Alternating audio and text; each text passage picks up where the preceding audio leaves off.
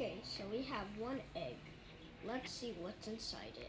Not sure what's inside, but I never opened it since last night.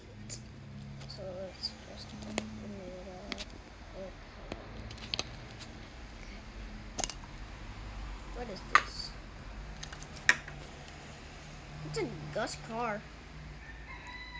Gus. Wow, this is cool. Oh.